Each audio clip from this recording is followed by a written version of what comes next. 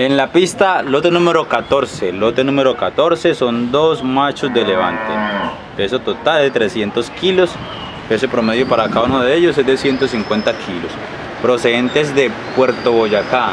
La base es de 6 mil pesos. Fueron pesados a las 11 y 37 de la mañana. Lote número 14.